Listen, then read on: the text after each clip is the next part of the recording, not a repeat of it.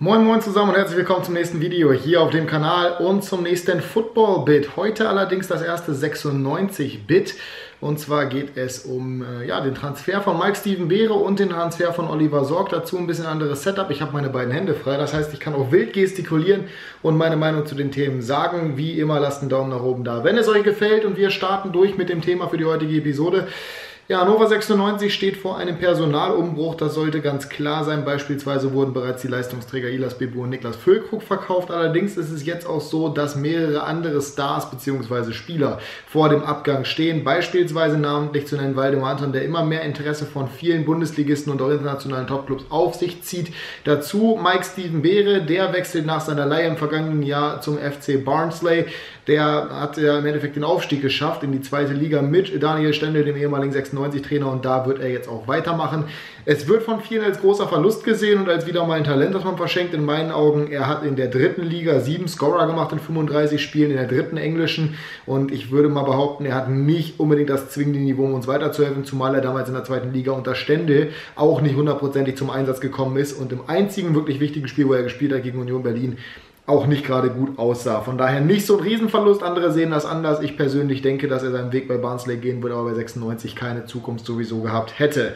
Oliver Sorg wechselt ablösefrei zum FC Nürnberg. Das ist ein bisschen schockierend, beziehungsweise nicht hundertprozentig nachvollziehbar. Für mich ganz einfach aus dem Grund, dass Oliver Sorg schlicht und ergreifend ein Spieler ist, der jetzt seit langer Zeit bei 96 ist, in der zweiten Liga auch mit war und jetzt wechselt, aber nicht von 96 zu einem besseren Verein in der Bundesliga, sondern zu einem gleichwertigen Verein in der zweiten Liga.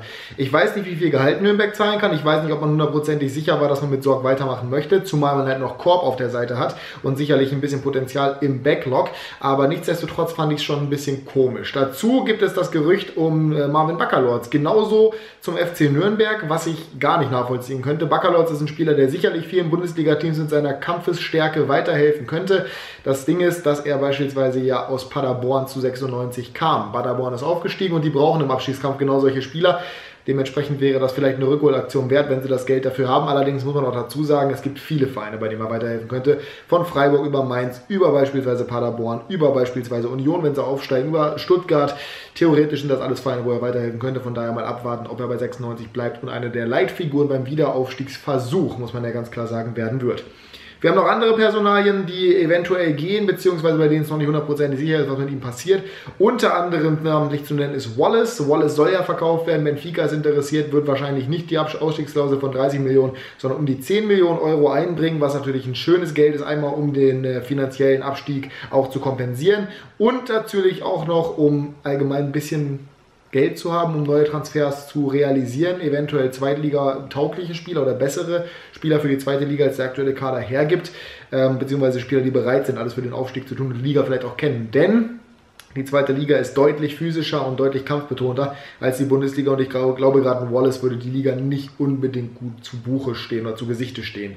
Von daher ganz gut, wenn der gehen würde. Ja, aber andere Spieler sind auch noch in der Verlosung, beispielsweise Ivar Fossum, mein persönlicher Lieblingsspieler, beispielsweise natürlich auch ein Jonatas, der eigentlich viel zu gut ist für die zweite Liga. Ich bin gespannt, was noch passieren wird. Wir haben auf jeden Fall einige Optionen, dass da noch wer geht, dass eventuell aber auch noch natürlich Leute kommen.